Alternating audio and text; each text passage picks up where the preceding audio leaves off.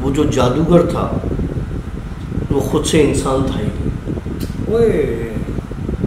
अस्तगफिरुल्लाह इन्नल्लाह गफूरुर रहीम। ये जो चीज़ होती है ये इनके खाने की चीज़ होती है।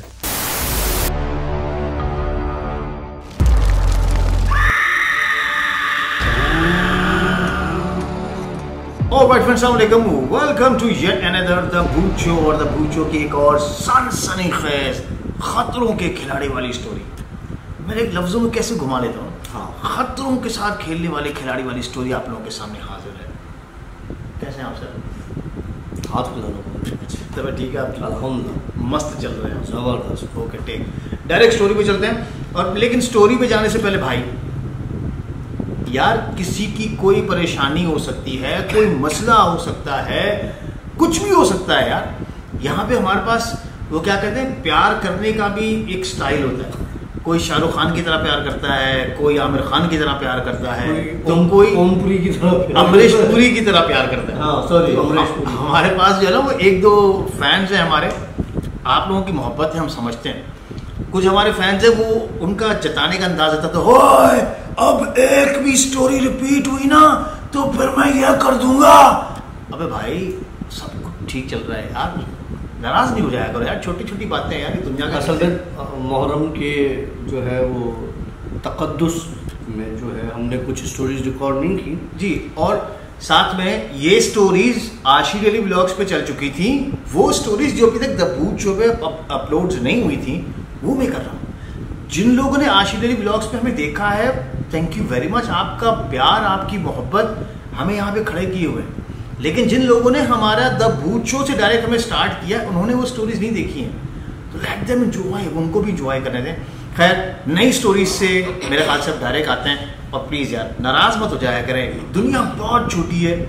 मतलब मैं कहता हूँ, कल हमारा एक दोस्त था, हमारे साथ बड़े हँसी, खुशी, मजाकें, घूमना, फिरना, आज वो हमारे बीच में नहीं है। हालाँकि हमसे छोटी एज का लड़का तो नाराजगियाँ नहीं किया करें यार। ये छोड़ दें, ये छोड़ दें अब। सर स्टोरी आते हैं।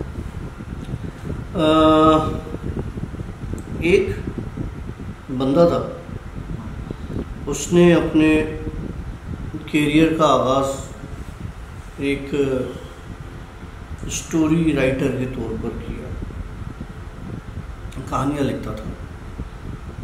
और फिर उन कहानियों पर वो स्टेज प्रोग्राम्स करता था, जैसे छोटे मोटे स्टेज प्रोग्राम्स होते हैं कॉमेडी होते हैं, उसमें आपके मुल्क के इश्यूज़ होते हैं, उस पर वो छोटे मोटे स्टोरीज लिख के और छोटे मोटे डायरेक्टर्स को देता था प्रोड्यूसर्स को देखता था, देता था वो फिर, याद है यहाँ पर जिस तरह से हमारे पास सिनेमा ऑडिटोरियम में और जगहों पर जहाँ पे स्टेज प्रोग्राम हुआ करते थे तो इस तरह के वो अलग अलग स्टेज पर अपनी स्टोरीज देता था और लोग उन पर एक्ट करते थे वो डायरेक्टर्स वो उससे परचेज करते थे।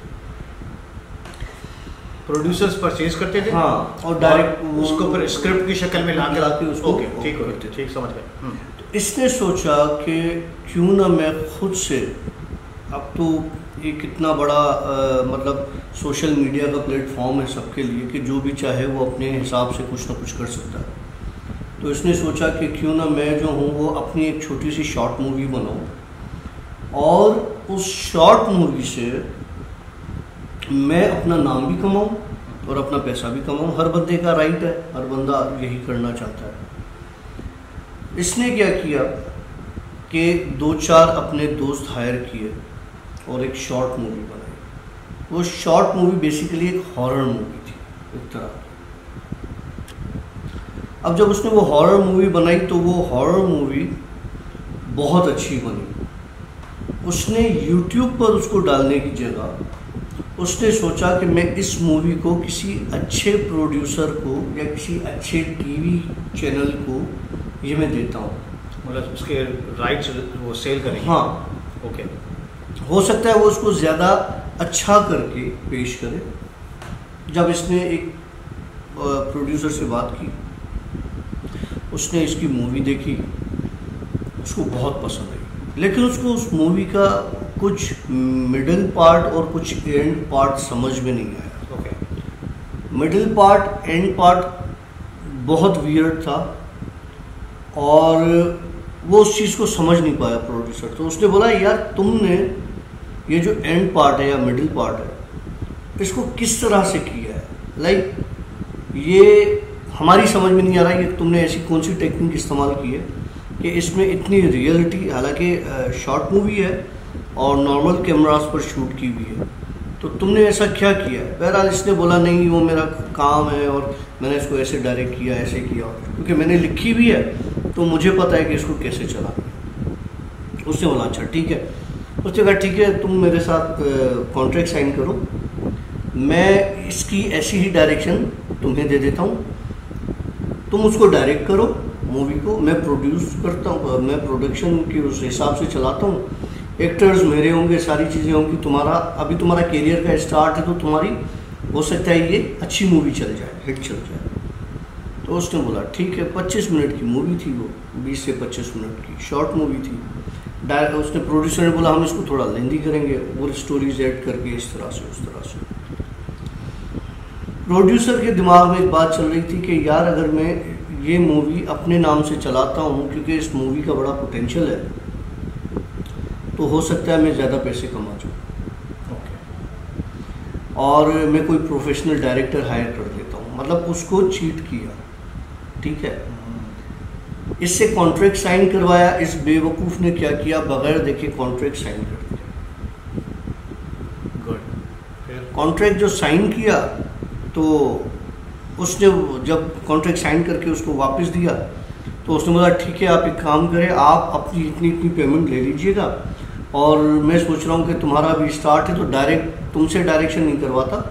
तुम्हें मैं अपने क्रू का एक मेंबर करके रखता हूँ, जहाँ पे मुझे चीज़ समझ में नहीं आएगी, वहाँ पे तुम बता देना, बाकी डायरेक्ट कोई और करेगा, कोई अच्छा डायरेक्टर अब इसकी हट गई।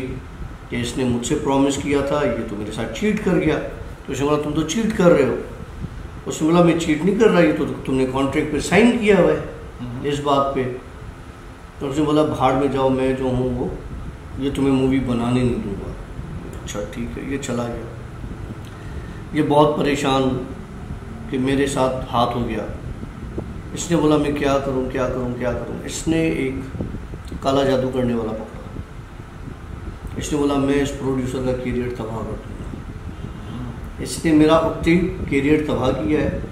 मैं इसका करियर तबाह कर दूँगा। बदला। बदला। ये गया उसके पास। काला जादू करने वाले के पास गया आमिल के पास। उसको बोला कि मुझे इसको नुकसान पहुँचाना उसने बोला कि उसकी तुम्हें कीमत अदा करनी पड़ेगी जो तुम कीमत अदा कर नहीं पाओगे। उसने बोला मैं हर किस्म की कीमत अदा करने के लिए तैयार हूँ। तुम सिर्फ़ मुझे बताओ। कहने लगा ठीक है। तुम कीमत अदा करोगे, उसने बोला हाँ मैं करूँगा। बोला, ठीक है तो पहली कीमत तो मुझे अभी अदा कर।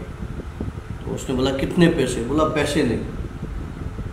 तुम्हारे नाक से और कान से वर्म्स निकलेंगे, और वो वर्म्स जितने भी निकलेंगे, तुम मुझे दोगे, वो वर्म्स मैं खाऊँगा। और फिर उसके बाद मैं तुम्हारा ये काम शुरू करूँगा।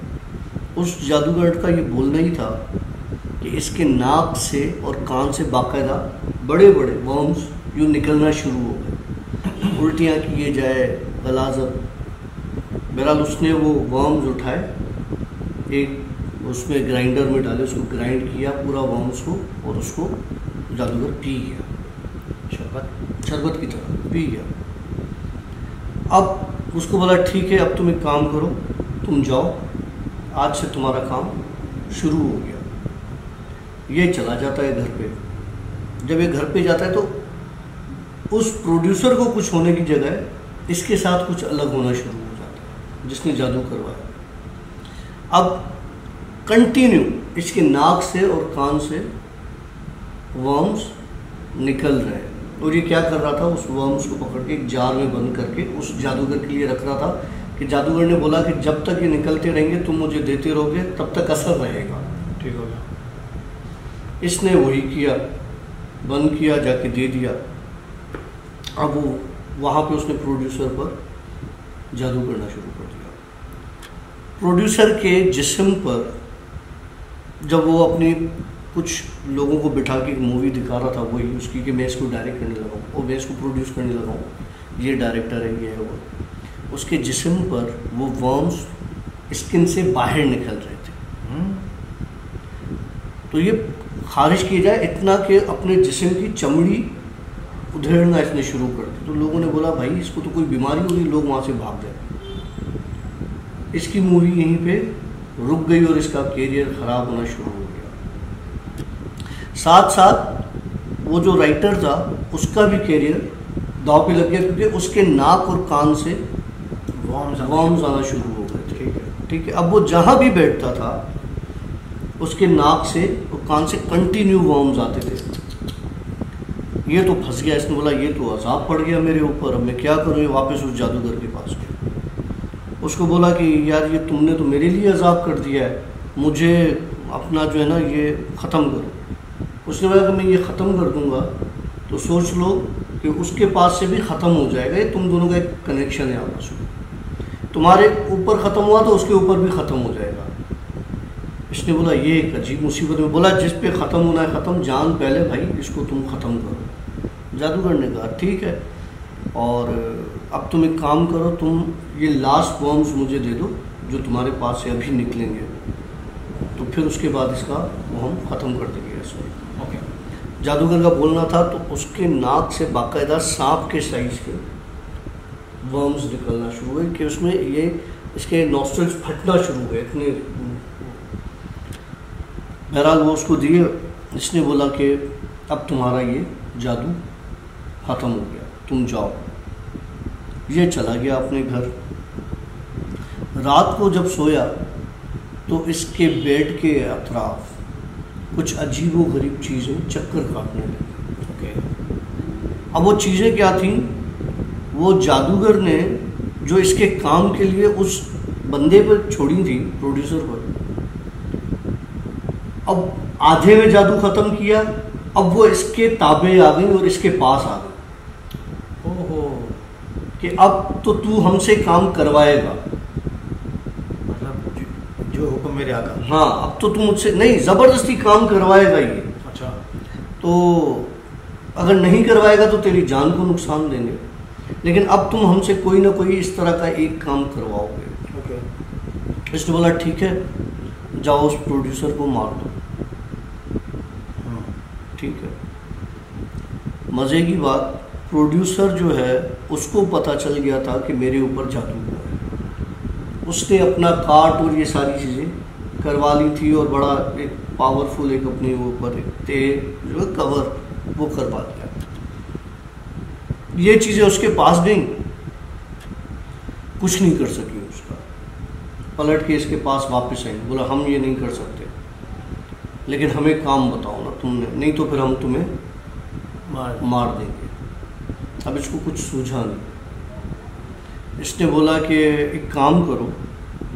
वो जो आमिल है जादूगर उसके पास जाओ। उसके पास की जितनी भी चीज़ें जो उसके कंट्रोल में है उन सबको मेरे पास ले। ठीक है। ये उनको इसके पास ले आए। कहते हैं ना इंसान अशरफुल मखलूक़ात भी है साहब। जब इनके पास वो सारी चीज़ें आ गई तो वो उनको एज अ कैदी करके ले आए। ओके। ठीक है? उनसे इसने कहा कि भाई ये जो चीज़ें हैं इनको ख़त्म कर दो। कौन सी चीज़ें? जो इससे ज़बरदस्ती काम करवा रही थी। ओके। मतलब जादूगर के पास जो चीज़ें थी। उनको इसने बोला कि इनको ख़त्म कर दो। Okay okay. हाँ ठीक है। ठीक है? इनकी आपस में हुई लड़ाई। ये चीज़ें आपस में ख़त्म हो गई। दोनों आपस में दोनों आपस में ख़त्म हो गई। ओके। इसकी जान छूट गई। इसको लगा कि मेरी जान छूट गई। है हम्म, ये गया जादूगर के पास। उसको कहने लगा देख अब तेरे पास कुछ नहीं और तेरी इस इस तरह से ये ये चीज़ें मेरे पास आई मेरे ताबे हुई मैंने उनको एक हुक्म किया हम्म, और अब ये मज़े की बात वो जो जादूगर था वो खुद से इंसान था ही नहीं। ओए। वो खुद से इंसान था ही नहीं। उसने उस राइटर को वहीं पे मार दिया। हम्म। लेकिन मतलब वो जादूगर फिर आखिर था क्या? चीज़ क्या था? जिन था।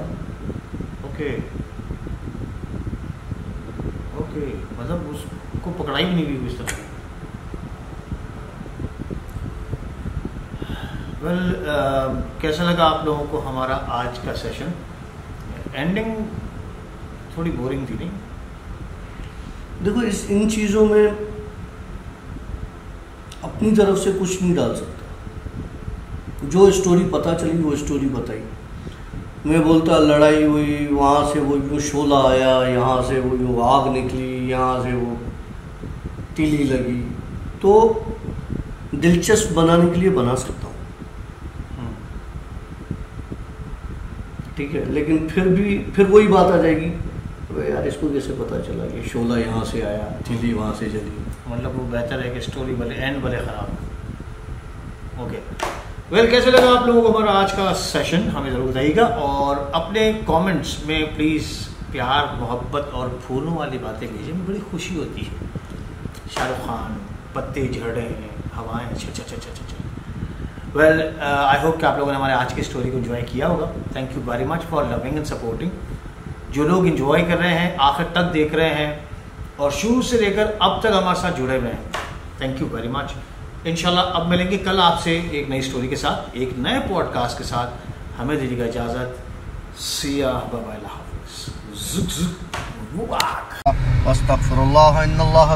रहीम. ये जो चीज़ होती है ये इनके खाने की चीज़ होती है।